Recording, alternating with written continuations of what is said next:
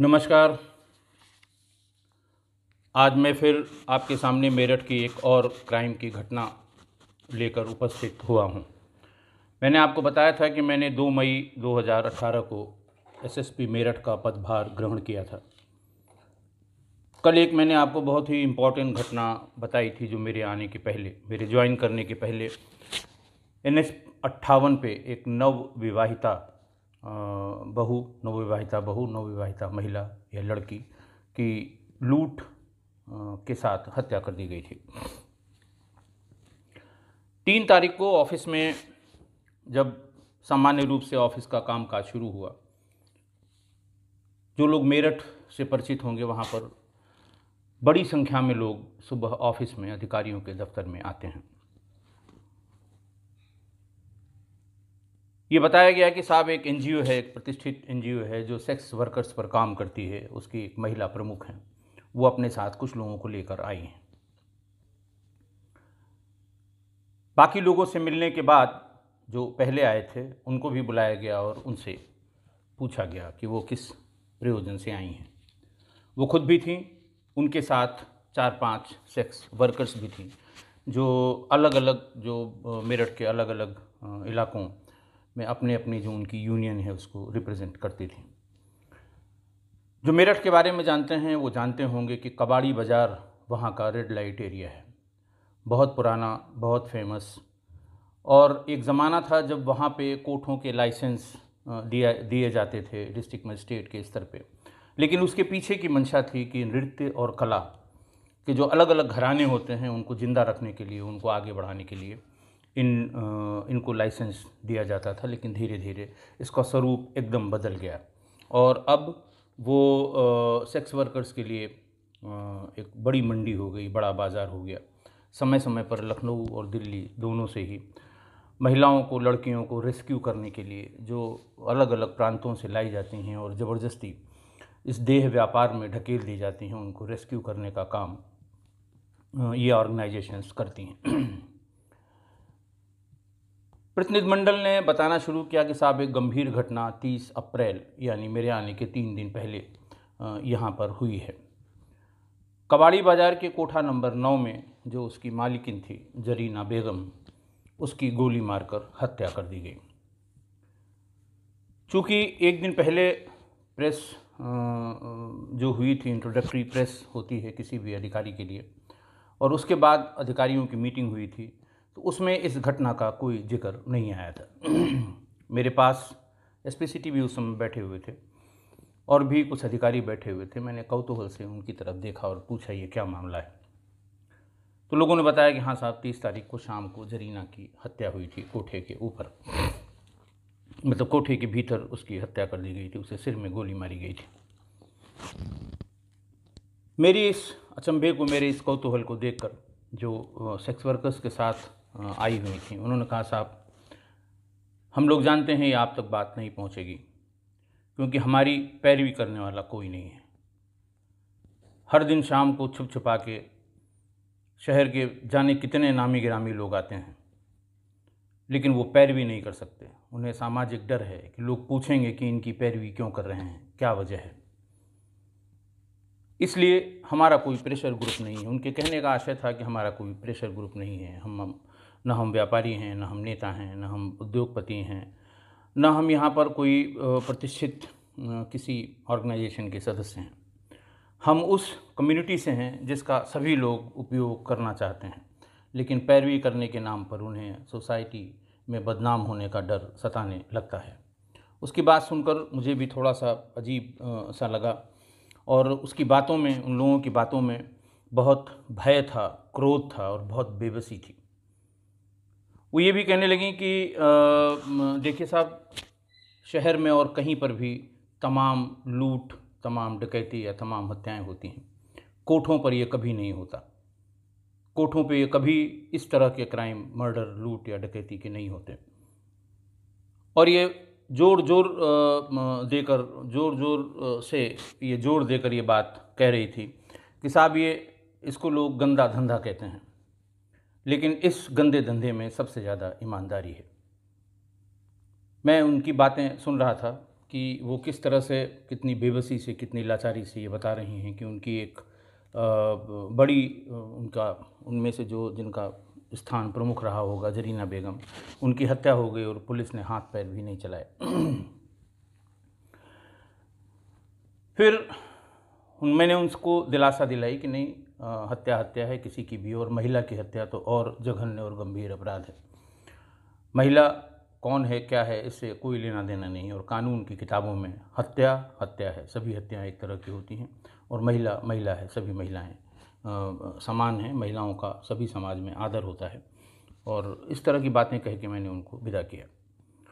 जब ये पब्लिक से मिलने का समय ख़त्म हुआ तो मैंने वहीं पर संबंधित ब्रह्मपुरी थाने में ये है कबाड़ी बाज़ार, ब्रह्मपुरी थाने के थानाध्यक्ष C O Brahmpuri S P city और इन सभी लोगों को बुलवाया, क्राइम ब्रांच के लोगों को वहीं ऑफ़िस में ही बुलवाया।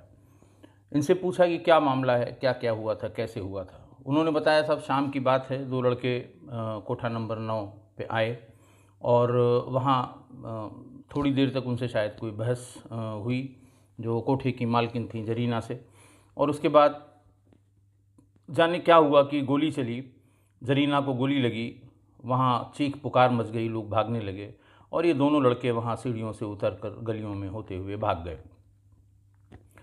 ब्रह्मपुरी के एसओ से पूछा तो उसने भी थोड़ा बेसिक वर्क किया था और उसने ये बताया कि साहब हमने जो वहाँ पर कबाड़ी बाज़ार, बहुत डेंस लोकेलिटी में ये बाज़ार है छोटी छोटी बहुत ढेर सारी दुकानें हैं, बहुत ज़्यादा दुकानें हैं। कबाड़ी बाज़ार बेसिकली जो कबाड़ से संबंधित बाज़ार रही होगी और ख़ासकर वहाँ पर जो कैंटोनमेंट एरिया का कबाड़ है, उसकी बहुत ढेर सारी दुकानें हैं। आर्मी से जो कबाड़ बेचे जाते हैं आर्मी से जो कबाड़ निकलते हैं, पुरानी वर्दियाँ उनकी और तमाम और अलग अलग चीज़ों की वहाँ दुकानें थी। तो ऐसो ब्रह्मपुरी ने इतना बेसिक वर्क किया था कि दुकानों पे जो सीसीटीवी लगे हुए थे, उनसे थोड़े थोड़े फुटेज निकाल के ये कोशिश की थी कि शायद उन लड़कों का या बदमाशों का या उन हत्यारों का कोई सुराग उसमें लग सके। इसके अलावा एसटीएफ से भी जो मुझसे पहले जो एसएसपी थी, उन्होंने एसटीएफ से भी रिक्वेस्ट की थी कि साहब इसमें थोड़ी मदद की जाए क्योंकि स्थानीय पुलिस इसमें बहुत कुछ कर नहीं पा रही है। कोई बहुत सुराग नहीं मिल पा रहे हैं। और वैसे भी भले ही कोई पैरवी करने के लिए कोई धरना प्रदर्शन न हुआ हो वहाँ मेरठ में, लेकिन अखबारों ने और टीवी ने इसको बहुत प्रमुखता से उठाया था कि एक सेक्स वर्कर्स की, एक सेक्स वर्कर की कोठे पर हत्या की गई। महिला की हत्या की गई दिन दहाड़े हत्या की गई, गोलियों से हत्या की गई। जिस तरह की खबरें चलती हैं या चलाई जाती हैं, आप अच्छी तरह से अवगत हैं। उस तरह की खबरें ये चल रही थी। तो इसको देखते हुए एस को एस टी की इकाई मेरठ में भी है और उसका ऑफ़िस है पुलिस लाइन में और अच्छे नंबर्स हैं उसमें, बहुत अच्छे ऑफिसर्स भी पोस्टेड हैं मेरठ में एसटीएफ में। उनसे रिक्वेस्ट की गई थी तो उनके पास टेक्निकल सपोर्ट जिला पुलिस से ज़्यादा रहता है। मैं क्योंकि उसका फाउंडर मेंबर हूँ, मैं जानता हूँ कि टेक्निकल सपोर्ट सबसे ज़्यादा आज की तारीख में अगर किसी यूनिट के पास है तो वो एस और एटीएस के पास है। तो फ़ील्ड वर्क के लिए तो पुलिस, स्थानीय पुलिस काम करती है, लेकिन टेक्निकल सपोर्ट के लिए उसे हर हाल में एसटीएफ की सहायता लेनी पड़ेगी।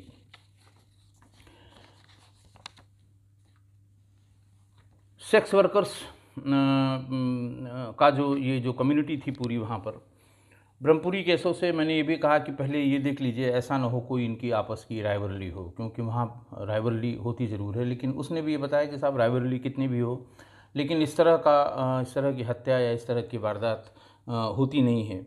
ये भी बताया कि साहब सेक्स वर्कर से संबंध या सेक्स वर्कर के चक्कर में शहर के दूसरे इलाकों में हत्याएँ हुई हैं और बहुत हत्याएँ हुई हैं। लेकिन भीतर यहाँ पर कबाड़ी बाज़ार में इस तरह से सेक्स वर्कर की हत्या हमारे ख्याल से बहुत दिनों से कोई नहीं हुई है। इसका हल्ला सिर्फ़ अखबारों और टीवी और सोशल मीडिया सोशल मीडिया में इसका बहुत ज़्यादा हल्ला था कि साहब अभी तक पुलिस कुछ नहीं कर पाई, पुलिस हाथ पर हाथ रखे बैठी हुई है। पुलिस के खाली हाथ तमाम तमाम जो इस तरह से जो शब्द इस्तेमाल किए जाते हैं पुलिस पर दबाव बनाने के लिए, उस तरह के शब्द यूज़ यानी प्रयोग किए जा रहे थे। उनसे कहा कि भाई देखिए, आप भी बैठे हुए थे यहाँ पर एस पी साहब वहाँ पे थे, और किस तरह से उनके उन बेबसी झलक रही थी कि साहब देखिए, हमारी मदद करने वाला कोई नहीं है। रात में भीड़ तो बहुत लगती है, लेकिन हमारे साथ कोई भी ऐसा सम्मानित व्यक्ति शहर का नहीं आया जो इस हमारे प्रतिनिधिमंडल में शामिल हो। तो कृपा करके हमारे जरीना बेगम की हत्यारों का पता करिए और उनके, उनको सज़ा दिलाइए। तय हुआ कि जो CCTV footage S O Brahmpuri ने निकाली थी, जो बहुत साफ़ नहीं थी या जिन, चेहरा जिसमें पहचान में नहीं आ रहा था, उनको सॉफ्टवेयर के माध्यम से थोड़ा सा क्लियर किया जाए। फिर उनके 30 सेकंड से एक मिनट के अलग अलग फुटेज बना लिए जाएँ। 30 सेकंड से एक मिनट का मतलब ये था कि उनको व्हाट्सएप पर ताकि आराम से भेजा जाए। ये भी वहाँ एस पी सिटी और एस पी आर ए दोनों को ये बताया गया कि जब ये तीस सेकंड से एक मिनट के फुटेज मिल जाएँ तो सभी थानाध्यक्षों को थानाध्यक्षों का एक ग्रुप अलग अलग बना हुआ है। WhatsApp group S P city के पास भी और एस पी रूरल के, यानी यानी एस पी ग्रामीण के पास भी, कि उनको भेज दिया जाए। भेजने के बाद वायरलेस सेट पर आप सभी थानाध्यक्षों को ये बता दीजिए कि वो अपने मातहत सभी चौकी इंचार्जों सभी सब इंस्पेक्टर्स और बीट के सभी कांस्टेबल्स तक। व्हाट्सएप पर ये वीडियो जो क्लिपिंग्स हैं, वो भेज दें। इस पूरी कवायद में, पूरी प्रोसेस में बहुत लगेगा, एक घंटा लगेगा। और एक घंटे में नीचे तक डाउन द लाइन यानी सभी सिपाहियों पर, बीट के सभी कांस्टेबल्स तक और बीट के सभी सब इंस्पेक्टर्स तक, वो सीसीटीवी फुटेज पहुँच जाएगी। अपने अपने इलाकों में जो उनके कांटेक्ट हैं, क्योंकि बीट कांस्टेबल वो बहुत ज़्यादा घुला मिला होता है जनता के व्यक्तियों से। दिन भर वो अपनी बीट में रहता है, वहीं खाता है, वहीं सोता है। और जनता के व्यक्तियों से, हर तरह के व्यक्तियों से, अच्छे बुरे दोनों व्यक्तियों से बीट कांस्टेबल्स का अच्छा संपर्क होता है अच्छा संवाद होता है। और शायद यही वजह है कि जो बीट की व्यवस्था उत्तर प्रदेश पुलिस की है बिल्कुल अनोखी है। और बीट कांस्टेबल्स ने बहुत बड़े बड़े काम किए हैं क्राइम और जुर्म की दुनिया में। बहुत बड़ी बड़ी घटनाओं को खोलने का काम बीट के कांस्टेबल्स ने किया है क्योंकि सूचनाएँ अगर उसका काम अच्छा है उसकी क्रेडिबिलिटी उसके इलाके में है तो बीट कांस्टेबल्स को सबसे पहले आ, किसी घटना की सूचना मिलती है। और किसी घटना में आ, जो अपराधी सम्मिलित होते हैं उनकी भी सूचना बीट कांस्टेबल्स को मिल जाती है। तो इसी पर्पज़ से ये कहा गया था कि एक आ, ये भी करके देख लिया जाए शायद कुछ पता लग जाए। और इसके पता लगने की संभावना संभावना पचास पचास फ़ीसदी थी कि अगर वो लोग मेरठ के ही होंगे तो हो सकता है पता लग जाए अगर मेरठ के बाहर के होंगे तो इस एक्सरसाइज से भी उनका पता लगा पाना बहुत मुश्किल होगा। बहरहाल ये रात में करीब एक बजे के आसपास मुझे दोनों अधिकारियों ने बताया कि साहब, अब डाउन द लाइन सभी कांस्टेबल्स तक वो पहुँच गई है। और कल दिन में, हर हाल में अगर ये यहाँ के होंगे तो कहीं ना कहीं कोई ना कोई सूचना हमको इसके बारे में मिल जाएगी। खैर ये बहुत अच्छी बात थी कि सिस्टम काम कर रहा था और जो मोबाइल फ़ोन्स की बात है एंड्रॉयड फ़ोन्स की बात है इनका बहुत अच्छे से पुलिसिंग में इस्तेमाल शुरू हुआ। हर जगह हुआ था अलग अलग तरह से हुआ था। इस पर्टिकुलर केस में भी आ, ये एक आइडिया आया था कि हो सकता है ये आ, काम कर जाए। फिर एक ओपिनियन मीटिंग में ये भी आई कि साहब बजाय इसके कि आप सबको व्हाट्सएप पर दें, सब देखें और फिर अपने अपने कॉन्टेक्ट्स को दिखाएँ, फिर वो पहचानें। ये बड़ा लंबा प्रोसेस है और पता नहीं, पता लगेगा भी कि नहीं पता लगेगा। इससे बढ़िया तो ये है कि हमारे जो सब मित्रगण हैं इलेक्ट्रॉनिक चैनल्स में इलेक्ट्रॉनिक मीडिया में, उनको ये क्लिपिंग उपलब्ध करा दी जाए तो वो अपने अपने टीवी पर चला देंगे। और हो सकता है कि इन लड़कों की कोई पहचान शहर के या ज़िले के किसी कोने में कोई कर ले। लेकिन साथ ही साथ उसका कंट्रडिक्शन भी आया कि साहब, ये ठीक इसलिए नहीं रहेगा कि दिखाने के बाद अगर ये बात उन तक, या हो सकता है बदमाशों ने स्वयं भी ये क्लिपिंग देख ली टीवी पे चलते हुए, या उन तक ये बात पहुँच गई कि टीवी पर एक क्लिपिंग चल रही है जिसमें पहचानने का अनुरोध किया गया है। तो ऐसे में वो भाग जाएँगे। फिर जल्दी हमारे हाथ नहीं आएँगे। जब तक और कुछ दूसरी बड़ी घटना नहीं हो जाती, ये चीज़ें नीचे दब नहीं जाती, तब तक वो वापस नहीं आएँगे और इससे हमारा नुकसान होगा। तो फिर एक राय हो कि यही बात, ये बात मानी गई कि व्हाट्सएप पर ही ये क्लिपिंग्स को सर्कुलेट किया जाए। जैसा कि मैंने आपको बताया कि एक डेढ़ बजे रात तक ये सब काम हो चुका था। दिन में सवेरे सवेरे से दोपहर तक बराबर ये पूछताछ वायरलेस सेट पर होती रही कि क्या किसी को कुछ पता लगा कि नहीं पता लगा। लेकिन ये आइडिया क्लिक कर गया। दोपहर बाद कोतवाली पुलिस को इंस्पेक्टर कोतवाली को ये सूचना मिल गई कि साहब ये दोनों लड़के पहचान लिए गए हैं। ये कोतवाली थाना क्षेत्र के ही रहने वाले थे। तुरंत एसटीएफ को इसके बारे में बताया गया कि हमने इन दोनों को इस तरह से पहचाना है। और बिल्कुल सही पहचान हुई है। जनता के जिस व्यक्ति ने बताया है, उसने कहा, ये हमारे मोहल्ले के ही लड़के हैं और हम इन्हें अच्छी तरह से पहचानते हैं। इस बीच में एसटीएफ भी अपने टेक्निकल विंग के साथ अपने, जो उनकी एक्सपर्टाइज़ है, उसके साथ उन्होंने भी लोकेट कर लिया कि साहब, बिल्कुल सही लोकेट किया गया है। हमने भी इसे लोकेट कर लिया था, इनके नंबर हमें मिल गए थे। हमने इनके नंबर लगा दिए हैं और उम्मीद है कि एक दो दिन में हम सक्सेसफुल हो जाएँगे। एसटीएफ के उप निरीक्षक अरुण निगम उनके साथ एक टीम इसी काम के लिए मुख्यालय से डीजीपी मुख्यालय से लगाई गई थी। आईजी एस साहब ने लगवाया था कि आप इसमें जिला पुलिस की मदद करेंगे। और फिर जब उनको भी नंबर मिल गया और नाम पता, उसका पता लग गया तो चुपचाप उसकी लोकेशन का पता करने में पूरी टीम, जिला पुलिस की, ब्रह्मपुरी की ब्रह्मपुरी की पुलिस और एसटीएफ के उप निरीक्षक अरुण निगम की टीम ने इस पर काम करना शुरू किया। और शाम को शॉपरिक्स मॉल वहाँ पर एक बहुत फ़ेमस मॉल है। मेरठ की तरफ़ से शॉपरिक्स मॉल की तरफ़ जब जाते हैं तो वहाँ जो इनकी सूचना के हिसाब से वो वहाँ पर कुछ ख़रीदारी करने के लिए ये दोनों अपनी मोटरसाइकिल से आएँगे। और पहचानने वाले आदमी को भी साथ में रखा गया, हालाँकि नंबर्स उनके लिसनिंग पर सुने जा रहे थे। और फिर वही हुआ, इन दोनों को वहाँ गिरफ़्तार कर लिया गया। जो गिरफ़्तार किए गए, उनका नाम था बिलाल सन of Deen Mohammad resident of सब्ज़ी वाली गली, सोहराब गेट सराय बहलीम, कोतवाली, मेरठ। और दूसरा था Naved son of Chand resident of सब्ज़ी वाली गली खपरेल वाली मस्जिद के पास, सोहराब गेट सराय बहलीन और कोतवाली। इनको क्राइम ब्रांच के ऑफ़िस ले आया गया। इनसे पूछताछ शुरू हुई। कि आखिरकार क्या माजरा था, क्या मामला था कि एक महिला को इन लोगों ने कोठे पर गोली मार दी।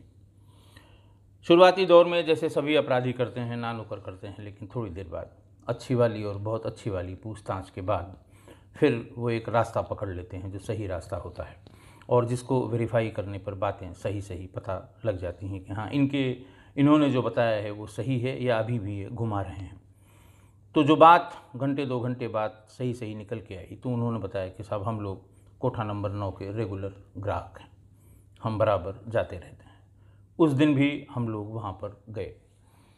वहाँ उस दिन जरीना ने ज़्यादा पैसों की मांग की।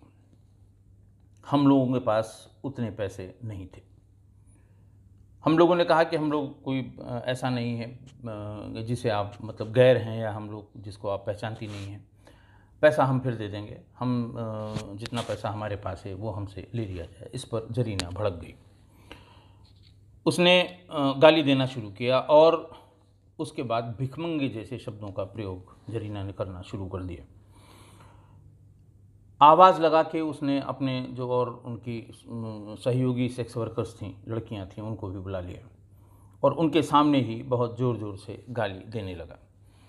बिलाल और जावेद का ये, नावेद का ये कहना था कि उनमें से जिनके हम लोग रेगुलर ग्राहक हैं, वो लड़कियाँ भी थीं और उन्हीं के सामने उसने जलील करना शुरू किया। और कहने लगी, फ़ौरन कोठे से बाहर निकल जाओ। उसके बाद चिल्लाते चिल्लाते हद तब हो गई जब उसने कहा कि ये कोठे हैं, ये रईसों की शान है और तुम कटोरा लेके कोठों पर आए हो। कटोरे कट कटोरा लेके कोठों पे नहीं आया जाता। इसलिए फ़ौरन तुम इससे बाहर हो जाओ। और उसने लड़कियों से कहा कि इसको धक्का दे के बाहर कर दो। लड़कियाँ उसकी तरफ़ बढ़ी, यानी सेक्स वर्कर्स उसकी तरफ़ बढ़ी उसको धक्का दे के बाहर करने के लिए। तो इतनी बेजती बर्दाश्त नहीं कर पाए और बिलाल ने तमंचा निकाल कर जरीना के सिर में गोली मार दी। और वहाँ से दोनों, जब भगदड़ हुई तो वहाँ से दोनों भाग गए। एक छोटी सी बात और एक महिला की जान चली गई। सेक्स वर्कर्स का वो प्रतिनिधिमंडल जो आया था, वो बार बार यही कह रहा था कि साहब, हमारे यहाँ ये सब नहीं होता है। इस तरह के क्राइम हमारे कोठों पे नहीं होते हैं। हम जो करते हैं, वो दुनिया जानती है। ये हमारे पेट पालने का साधन है। इस तरह की बातें, वो उस दिन बहुत ही इमोशनल बातें ये लोग कर रही थी। और ऐसे अगर लोगों को गोलियों से मारा जाता रहेगा तो ये सदियों से चली आ रही ये परंपरा ख़त्म हो जाएगी। ये उसका पॉइंट ऑफ़ व्यू था। समाज इसके बारे में क्या सोचता है इसके बारे में मैं कोई टिप्पणी नहीं करता। लेकिन एक आ, महिला की जान चली गई। तीस अप्रैल को शाम को ये घटना हुई थी और चार मई को ये दोनों हत्यारे पकड़े गए। आज बस इतना ही। बहुत बहुत धन्यवाद। जय हिंद।